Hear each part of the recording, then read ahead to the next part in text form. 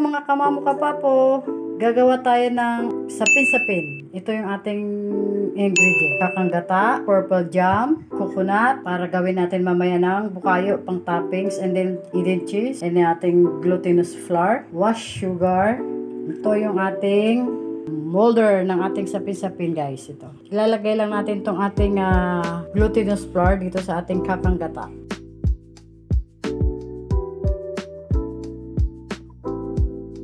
Then, sugar. Magtira lang tayo ng konti. Half kilo sugar to guys. Mga kamamo kapapo. Magtira tayong konti para sa ating bukayo. And then, halo-haloin lang natin yan. Hanggang sa mag-ano na lahat.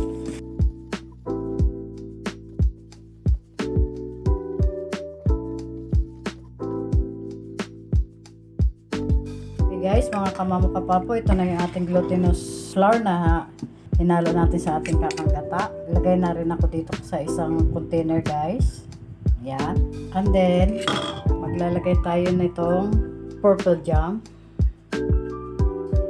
Itong purple jam natin guys, pwede naman kayo makabili sa may devote na meron na bibili na nangyari. May lasa na. Ito kasi akin guys, nagawa ko na to kasi gumawa ako nung hindi ko na i-vlog eh. Mabuti may tira ako. Yan, nagawa ko na yan. And then guys, pag medyo mapusyaw pa ang kulay nito, maglagay kayo ng konting food color. Kunti lang. Pag mapusyaw pa to. Basta halo-haloin nyo lang. Pero pag alam nyo naman na, tansyan nyo naman na okay na yung kulay niya, huwag nyo nang dagdagan. And then nagpakulo na ako sa ating steamer ng water.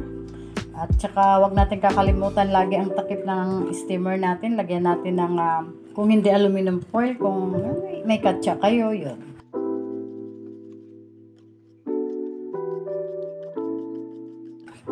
Okay na yung kulay nito. Huwag na natin dagdagan ng food color.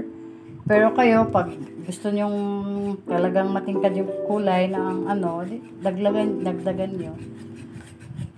Ito yung uuna kong ilalagay sa ating molder para pagtaob ng molder natin ay itong violet ang mauuna sa layer natin ng sapin-sapin. Okay?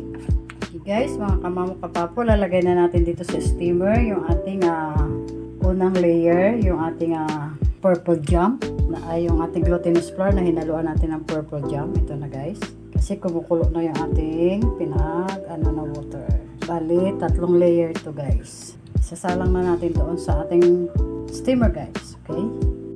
Ayan na siya guys, mga kamamo kapapo. Sinalang na natin. And then, pagka medyo malu ano na yan ng konti, lalagyan na naman natin ng panibagong layer. Okay, mga kamamo kapapo. Vanilla flavor naman tayo. Yung pangalawang layer natin ng sapin. Lalagay tayo dito ulit sa ating white container. Nasa sa inyo na guys kung gaano kakapal, gaano ano, iba-iba. Pero kadalasan talaga guys, mas manipis ang ating purple jam. Lalagyan natin ng vanilla.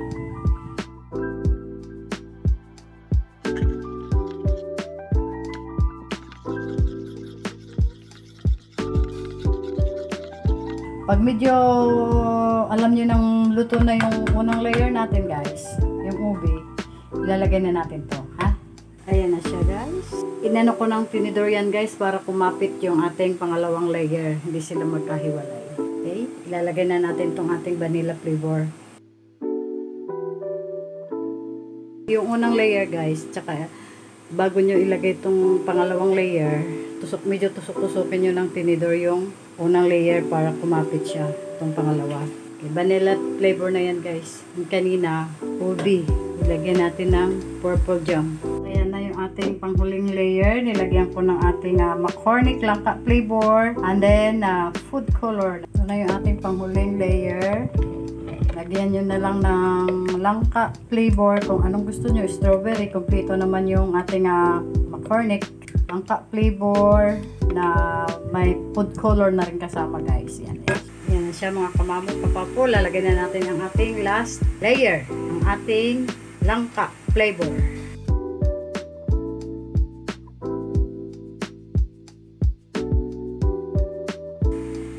Kahit anong gusto nyong flavor guys, kumpleto sa McCormick. Minsan gumagawa rin ako ng strawberry flavor. Depende sa customer kung anong papagawa. Pag langka din, pwede nyo naman din lagyan ng langka siya mismo. Yung talagang tunay na jackfruit. Yung talagang ano. mm Pero yung McCormick, talagang jackfruit talaga yun guys. Kinakatas nila yun. Mamaya, tusok, medyo tusok-tusukin na lang natin ng tinidor or stick ang ating nga. Kung alam na, pag luto na yan, yung pag tinusok nyo, wala nang sasama kahit kunti. Yung pag tinusok nyo siya, pag inangat nyo yung kung ano man yung itinusok nyo, stick or uh, tinidor, pag angat nyo, wala na siyang sasama. Wala nang sasamang yung sapin. Okay? Ayan na siya mga kamamuka pa po. Luto na. Wala na siyang nasap, nasama. Oh.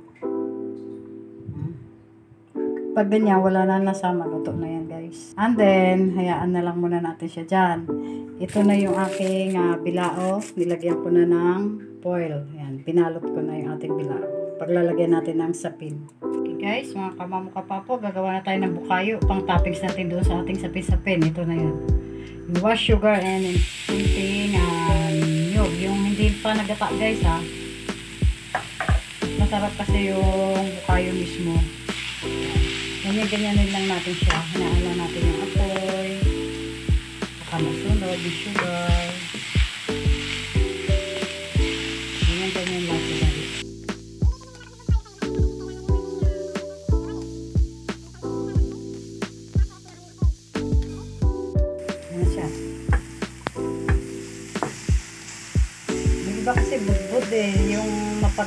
Mapagbigaan ha.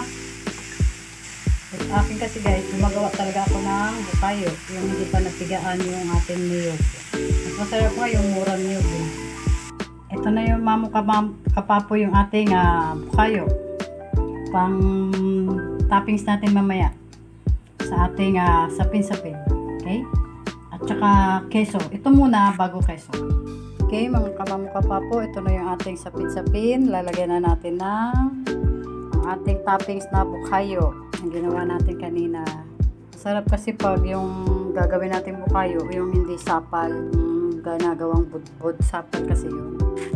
And then guys, mga kamamuka pa po, lalagyan natin ng kukut, uh, ano din natin ng cheese, edit cheese na ibabaw.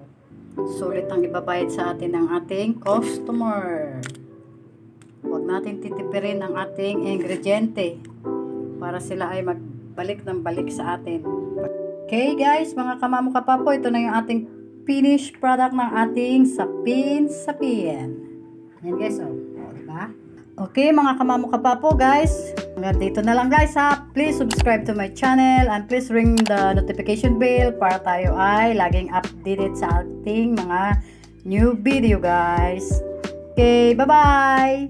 Sa susunod naman ulit. I love you. Mwah!